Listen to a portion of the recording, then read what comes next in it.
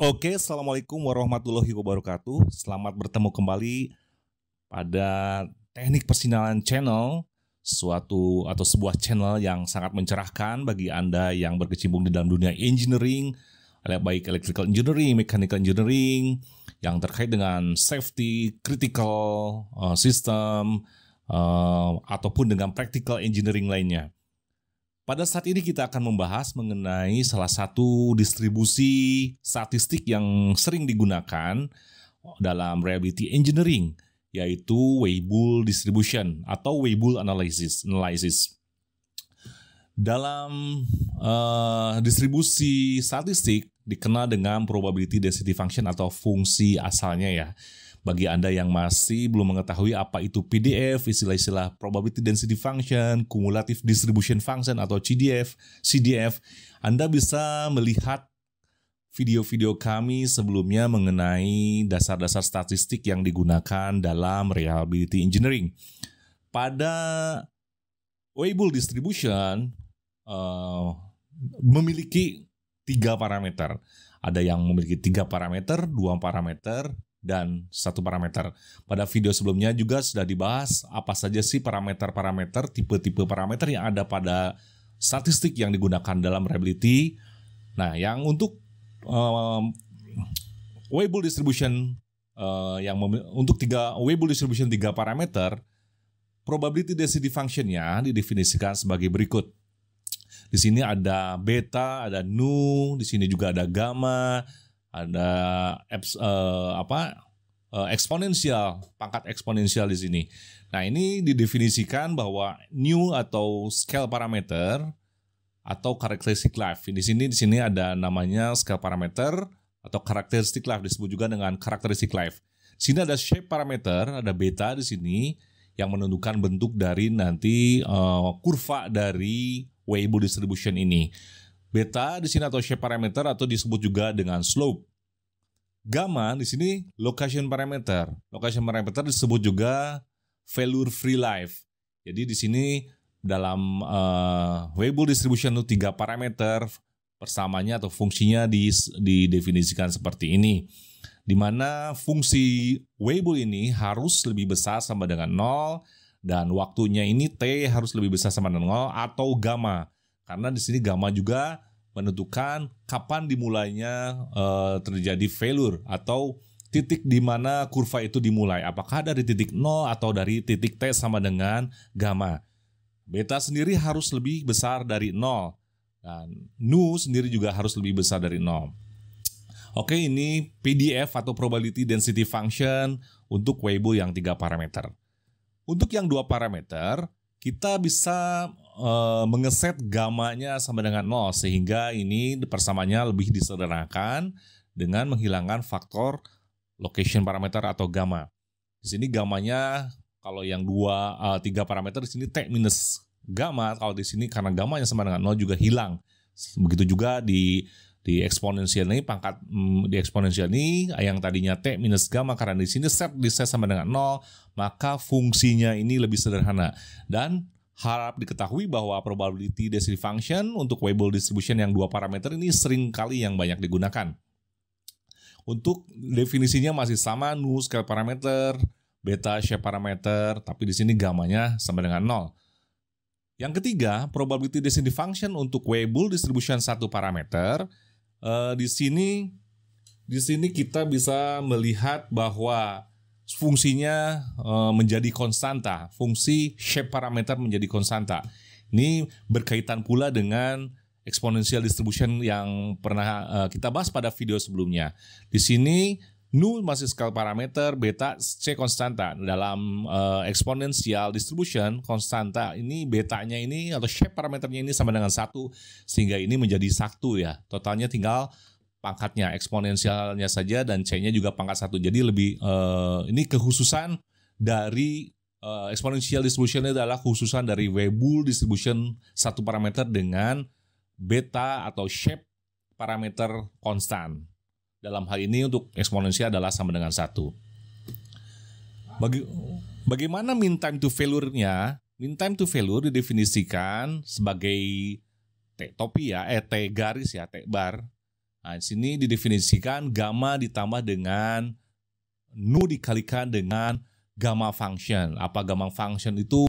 Ini adalah salah satu garis statistik nanti dijelaskan di slide slide berikutnya secara sederhana uh, di mana gamma uh, satu per beta ditambah satu adalah gamma function yang dievaluasi di seper beta ditambah satu. Ingat beta itu adalah shape parameter. Nah, untuk tiga parameter Weibull distribution, MTTF ini dapat disederhanakan menjadi T sama dengan uh, uh, gamma dikali kali uh, uh, gamma yang dievaluasi seper beta tambah satu. Sorry ini untuk yang dua parameter ya maksudnya bukan tiga parameter karena di sini gamanya sama dengan nol ya. Salah nih ini dua uh, dua parameter harusnya. Nah ini tentang gamma function. Gamma function didefinisikan uh, sebagai integral 0 sampai tak hingga e pangkat minus x dikalikan x pangkat n minus 1 dx. Nah ini kalau dievaluasi di, di n ya. Jadi secara secara praktisnya untuk n lebih besar daripada 0, n anggota bilangan bulat berlaku gamma n adalah n min 1 faktorial. Jadi kalau misalnya gamma yang dievaluasi di 3 berarti 3 min 1 faktorial atau 2 faktorial. Begitu secara sederhananya untuk uh, n lebih besar 0 dan n bilangan bulat. Uh, bagaimana untuk bilangan yang lainnya? Untuk bilangan pecahan, bukan bilangan bulat atau yang negatif? Kalau ini karena di sini ya kalau di, di Weibull distribution uh, tidak berlaku untuk yang negatif, tapi secara umum uh, Anda bisa pelajari sendiri bagaimana tentang gamma function dalam link yang uh, saya tulis berikut ini di Wikipedia. Seperti halnya distribusi statistik yang lainnya, distribusi Weibull atau Weibull distribution ini memiliki median, mode, dan standard deviation. Nah, ini definisi dari median ini didefinisikan sebagai gamma ditambah nu kali ln 2 pangkat per beta. Sedangkan untuk mode-nya ini didefinisikan sebagai gamma ditambah nu kali 1 minus seper beta pangkat seper beta. Sedangkan untuk standard deviation adalah seperti ini. Di sini ada gamma functionnya. Jadi ini eh, nilai-nilai uh, median, mode, dan standard deviation untuk Weibull distribution secara umum ya. Nah, bagaimana ini yang paling penting mengenai reliability engineering? Tentunya pertanyaannya bagaimana sih fungsi reliability-nya atau reliability function dari Weibull distribution ini? Nah, Weibull distribution ini sebenarnya uh, bisa berlaku untuk reliability di bidang mechanical engineering, electrical engineering dan lain-lain, tapi pada umumnya sering kali digunakan di mechanical engineering.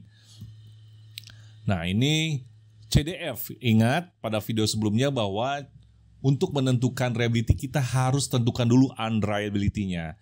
Yang diadalin adalah CDF atau Cumulative Distribution Function yang merupakan integral dari FT atau dari integral dari Probability Density Function. Jadi CDF sama dengan unreliability function sama dengan integral 0 sampai tak hingga dari PDF DT. Jadi ini hasil integralnya. Ini tidak uh, saya jabarkan integralnya Anda bisa coba sendiri dengan mungkin dengan integral substitusi Anda bisa peroleh bahwa unreliability ini adalah integral dari PDF yang hasilnya adalah seperti ini 1 minus E pangkat minus T minus gamma dibagi nu per beta. Nah, sedangkan reliability function sebagaimana yang didefinisikan pada video sebelumnya bahwa reality function adalah satu dikurangi unreliability function atau satu dikurangi ini ft atau cdf ini. Jadi satu dikurangi satu minus e pangkat minus t minus uh, gamma per nu kali, uh, pangkat beta. Jadi hilang angka satunya yang negatifnya menjadi positif. Jadi tinggal bersisa fungsi seperti eksponensial di sini. Jadi reliability-nya ini seperti fungsi eksponensial ya. Uh, tapi secara umum di sini harus diingat bahwa nanti ter, dalam value rate-nya sedikit berbeda karena value rate dalam Weibull distribution ini dia tidak konstan seperti di exponential distribution. Nah, sini definisi value rate dari dari uh, Weibull distribution ini kalau definisinya definisi asalnya adalah sama FT atau PDF dibagi dengan reliability function yang dijelaskan pada halaman beri, uh, sebelumnya sehingga kalau dibagi PDF dari Weibull distribution secara umum dibagi dengan reliability functionnya adalah hasilnya seperti berikut. Anda bisa lihat di sini masih ada faktor waktu di sini. Jadi bisa dikatakan lambda t-nya ini atau value rate-nya ini dia berubah terhadap waktu berbeda dengan exponential distribution bahwa lambdanya ini konstan. Tapi di dalam Weibull ini lambdanya ini berubah terhadap waktu. Nah ini karakteristik Weibull distribution yang digambarkan uh, dalam grafik uh, beta terhadap PDF.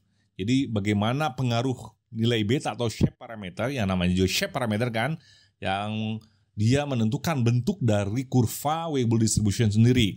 Ini kita bisa lihat bagaimana kalau betanya lebih kecil daripada 0.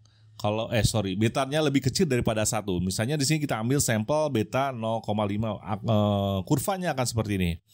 Bagaimana kalau betanya sama dengan satu? Nah, ini yang seperti yang kita kenal sebelumnya adalah exponential distribution. Jadi Kelihatan di sini bahwa exponential distribution adalah Weibull distribution dengan shape parameter sama dengan satu. Bagaimana dengan tiga? Nah, kalau tiga ini uh, Weibull distribution menjadi normal distribution. Nah seperti ini. Jadi pengaruh beta ini sangat uh, kuat uh, atau sangat berpengaruh pada Weibull distribution. Ini menentukan bentuk grafik uh, kurva atau kurva dari the PDF itu sendiri. Jadi bisa terlihat bahwa Weibo ini sangat universal, uh, mencakup semua distribusi, hampir mencakup semua distribusi, tergantung dari nilai shape parameternya. Nah ini sekarang kita lihat bagaimana pengaruh uh, beta terhadap fungsi reliability atau reliability function. Lihat kita lihat kalau betanya lebih kecil dari 0 atau eh, sorry lebih kecil dari satu ini terlihat fungsinya seperti ini. Ya, reliability seperti ini. Nah, bagaimana kalau betanya sama dengan satu ya eksponensial. Kalau beta sama dengan tiga dari uh, normal ya seperti ini. Seperti ini fungsi uh, antara uh, beta uh, pengaruh beta terhadap reliability function. Nah, sekarang ini adalah gambar sebelah kanan ini adalah yang sangat populer sekali dalam reliability engineering. Di sini adalah uh, kurva betap curve ya. Betap curve kalau betap curve itu seperti uh, betap, betap itu tempat mandi ya, bak mandi. Uh, bak untuk mandi. Di sini terlihat bahwa pada pada umumnya dalam reliability ini ada pada saat operasi ketika peralatan ini dioperasikan di awal-awal ini memiliki beta lebih kecil dari satu. Nah, fungsinya ini terhadap value rate ya, bukan terhadap reliability. Berarti value rate ini kan eh, PDF dibagi fungsi reliability. Nah, ini bisa terlihat bagaimana uh, pengaruh dari beta terhadap value rate ya, uh, terhadap value rate. Tadi kita lihat bahwa dalam Weibo ini uh, value rate ini tidak konstan tapi berubah terhadap waktu. Nah, ini misalnya di dalam operational time ketika alat itu dioperasikan, di awal-awal betanya ini akan lebih kecil dari satu, infant mortality. Akan terjadi uh, failure yang lebih cepat di awal. Ini misalnya kita mempunyai produk elektronika atau sistem kita bangun sistem dalam sebuah project di awal-awal akan pasti mengalami uh, mortal infant mortality atau failure uh, secara uh, infant secara awal ya, secara dini gitu. Nah, ketika ketika mulai terjadi steady state, ketika konstan, mulai konstan, betanya ini akan sama dengan satu. Dan ini ketika beta sama dengan satu, ingat bahwa ini adalah distribus, uh, distribusinya adalah eksponensial di sini. Dan ketika wear out, betanya mulai lagi berubah terhadap waktu dan akan naik lagi value rate-nya. Kalau di awal tadi value rate-nya akan semakin menurun, kemudian stabil, nanti di akhir dari life cycle-nya produk ini akan wear out. Betanya akan kembali berubah terhadap waktu, eh sorry, uh, value rate berubah terhadap waktu, betanya lebih besar dari satu dan akan menuju ke kerusakan atau failure. Jadi lifetime, useful lifetime ini didefinisikan di ketika ada steady state beta sama dengan satu khususnya untuk komponen elektronika ya. Ketika definisikan bahwa komponen elektronika itu eh, dia eh, berlaku di sebuah situasi dia di arah di di kurva di bagian tengah ini. Ini use, useful lifetime ya. Nah, ini sangat terkenal sekali dalam reliability engineering. Oke, kita langsung ke contoh penerapan. Yang pertama di sini ada gambar guided wheel ya. Guided wheel ini alat yang digunakan untuk uh, memandu automatic people mover system atau APMS atau kereta kalayang ya yang di Bandara Soekarno Hatta itu ada ya atau di Bandara Changi Singapura. Nah ini seperti kalau anda punya Tamiya ini seperti roda Tamiya yang memandu di treknya ya, sebelah kiri dan kanan. Nah ini tentu saja karena uh, ketika ini digunakan pasti akan mengalami aus ya dan akan mengalami lama-lama akan failure, akan mengalami kerusakan. Ini contoh soal sebuah perusahaan supplier guided wheel nih. Untuk rolling stock, rolling stock ini artinya sarana ya, keretanya ya, sarana keretanya untuk APMS telah memasok sebanyak 12.000 pieces dalam satu batch. Ini contoh, bukan sekali lagi ini contoh bukan nilai sebenarnya. Ini ada 12.000 pieces dalam satu batch yang uh, dikirim atau di, deliver oleh sebuah supplier guided wheel untuk APMS. Pertanyaannya berapa kemungkinan jumlah guided wheel akan mengalami kerusakan dalam masa garansi 5000 km. Masalah ini kan uh, masalah eh, apa istilahnya masa garansi atau time to failure ini bisa didefinisikan terhadap waktu ataupun jarak. Kalau di sini kan terhadap jarak. Jadi di sini time to failure-nya di 5000 km ya. Kerusakan pada masa garansi 5000 km waktunya. Jika, eh, jadi T sama dengan 5000 km jika diketahui beta sama dengan 2,5. Shape parameternya 2,5. Dari mana beta ini? Ini hasil dari uh, live dat live data analysis. Ini nanti dijelaskan. Nanti pakai metodologi khusus ini menu. Kalau anda membuat sebuah produk diambil sampel kemudian dilakukan uji reliability nanti datanya dikumpulkan kemudian digrafikan nanti dapat diperoleh nilai betanya. Ini dalam contoh ini diketahui betanya sudah diketahui ya beta sama dengan 2,5 dan scale parameter ingat scale parameter nu ya diperkirakan pada 8000 yang diperoleh dari data lapangan sebelumnya. Nah ini ditanyakannya eh, berapa kemungkinan, berapa jumlah GDP yang rusak ya. Nah seperti halnya soal fisika biasa diketahui betanya 2,5, nu-nya 8000, gamanya 0 berarti satu eh, ini distribusi Weibull dua parameter. Yang ditanyakan kemungkinan guided wheel yang rusak pada T sama dengan 5000 km. Nah ini kita karena ini kerusakan, kemungkinan kerusakan atau bukan pertanyaannya bukan berapa yang uh, bertahan atau yang uh, survive, tapi di sini yang ditanyakan berapakah yang rusak pada saat T sama dengan 5, 5000 km. Ini fungsinya adalah fungsi unreliability yang kita gunakan di sini. Di mana didefinisikan bahwa unreliability ini satu dikurangi E pangkat minus T minus gamma dibagi N pangkat beta. Jawabnya karena di sini gamanya nol, kita bisa hilangkan, kita bisa sederhanakan. Eh, kita lihat masukkan ke dalam persamaan ini. Eh, jadi tinggal satu minus e pangkat minus t dibagi nu pangkat beta. Tinggal kita masukkan di sini nu-nya diketahui, betanya diketahui, betanya 5000, nu-nya 8000, beta uh, betanya 2,5, kita masukkan nilainya 2 0,266 atau sekitar 26 persen.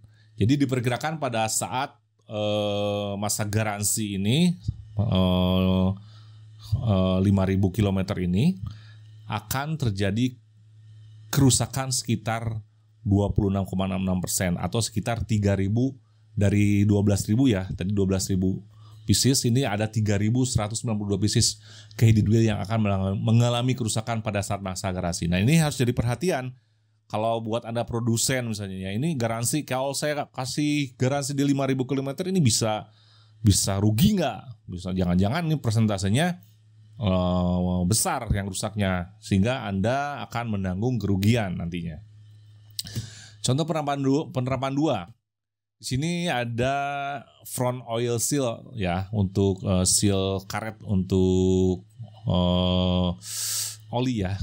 Data kebocoran pada sistem front oil seal memperlihatkan bahwa distribusinya ini mengikuti Weibull distribution dengan karakteristik life. Ingat, apa karakteristik life? Adalah shape parameter, nama lain dari shape parameter atau selama 1500 jam. Apabila diketahui shape parameternya adalah uh, eh, 0,7 sorry scale parameter ya. Karakteristik life ini scale parameter uh, eh, 1500 jam.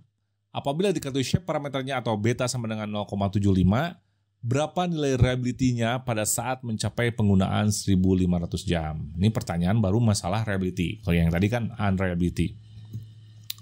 Ini diketahui betanya 0,75, nu-nya 1500, gamanya 0. Masih distribusi Weibull dengan dua parameter. Ditanyakan reliability-nya pada saat T sama dengan 1500 km ini walaupun T ya, tapi ini dalam kilometer. Nah ini reliability yang kita ambil fungsinya. Nah, angka satunya sama minusnya hilang. Ya tinggal E pangkat minus minus T minus uh, minus uh, gamma dibagi nu per pangkat beta. Tinggal dimasukkan dalam rumusnya diketahui kan.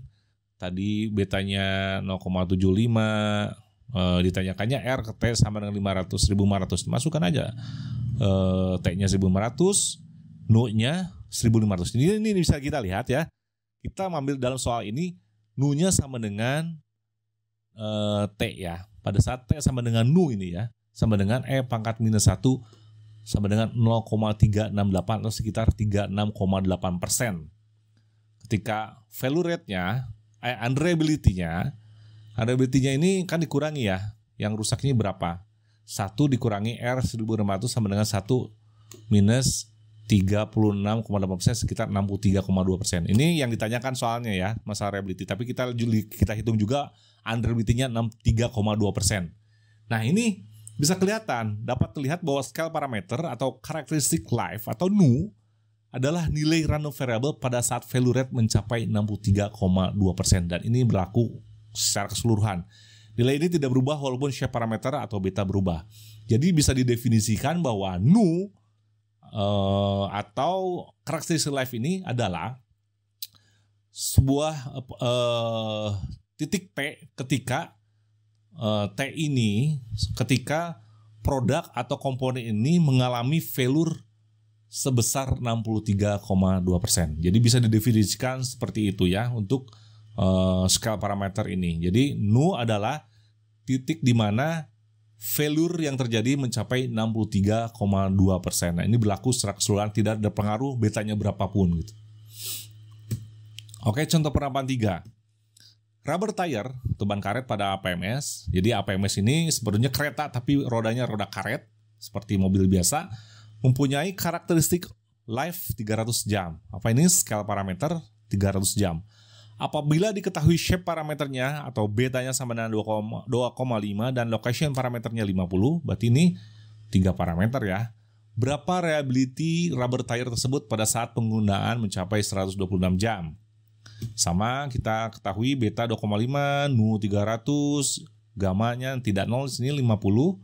Tanyakan reliability pada saat 126 km. Jadi kita ambil fungsi reliability-nya atau reliability function untuk Weibull kita isikan ke persamaan tersebut R pada waktu 126 jam. Kita masukkan 126 dikurangi 50 300 jadi ini roda karet ini dianggap sebelumnya ini belum mengalami failure tapi ketika saat 50 jam mulai failure. Jadi ini gamanya tidak sama dengan nol. Nah, pada saat e, dimasukkan kita peroleh nilainya 98%. Jadi pada saat 126 km ini masih probabilitas of successfulnya ini masih di 98%. Jadi masih oke okay lah ya. B,25 ini menandakan wear out walaupun di sini 2,5 ini wear out ya. Udah mulai mengalami wear out sebetulnya. Mulai oh, value rate-nya ini mulai tidak konstan, dia mulai naik uh, value rate-nya. Nah, ini ya. Oke. Okay. Oke demikianlah mengenai uh, Weibull distribution tiga parameter dua parameter satu satu parameter semoga bermanfaat buat anda Uh, terima kasih sudah menyaksikan video kami. Bagi Anda yang merasa ini bermanfaat, tolong tekan tombol subscribe, like, dan loncengnya karena itu gratis. Sekali lagi gratis dan menjadi penyemangat kami untuk mem membuat video-video sejenis yang bermanfaat. Terima kasih atas perhatian Anda. Nantikan video-video berikutnya yang terkait dengan engineering, reliability, functional safety, safety critical, tentang uh, practical engineering, uh, terutama untuk teknik persinyalan kereta api. Selamat berjumpa lagi dalam video berikutnya. Terima kasih. Wassalamualaikum warahmatullahi wabarakatuh.